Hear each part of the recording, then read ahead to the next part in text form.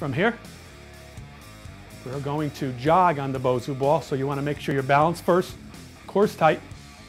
You just want to jog on it. Your feet do not have to come up very much on this. What we're working on is strengthening your cardiovascular system, strengthening your legs, your overall body.